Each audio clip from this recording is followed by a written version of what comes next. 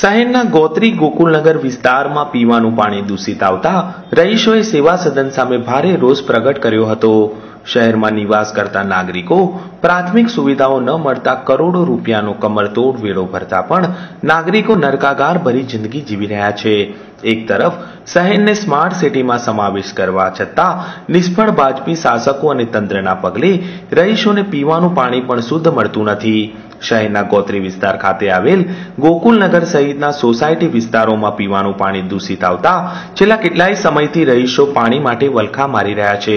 ત્યારે વારંવારની રજૂઆતો બાદ પણ પીવાનું શુદ્ધ પાણી ન મળતા આજે રહીશોએ મીડિયાનો સહારો લઈ તંત્ર સામે રોષ પ્રગટ કર્યો હતો નાખવાનું અમે કહ્યું છે પણ કોર્પોરેશન કોઈ ધ્યાને ધરતી નથી રોડે ખરાબ છે બધે નાખ- તમે કેટલું ગંદુ છે આવું છોકરાઓ પાણી પીવે તો શું થાય પાણીની સમસ્યા.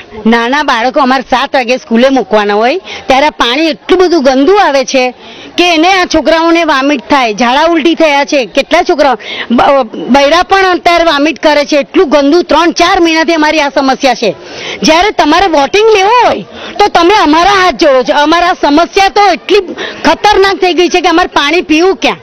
આટલું બધું ગંદુ અમાર અમાર ઘરમાં છે ત્રીજા અંદર છે લગીન પાણી ગંદુ આવે છે, સ્મેલ આવે છે. એટલી ખરાબ સ્મેલ આવે છે કે આપણને નાના બાળકો વોમિટ કરવા માંડે છે. એટલી ગંદી સ્મેલ આવે છે.